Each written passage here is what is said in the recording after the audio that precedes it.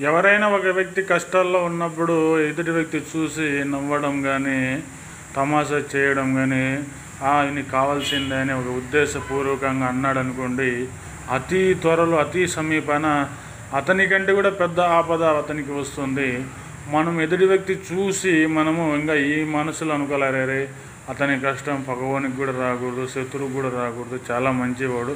అతను నష్టం కూడా చేసింది ఈ మనసు మనము సంప్రదించాలన్నమాట.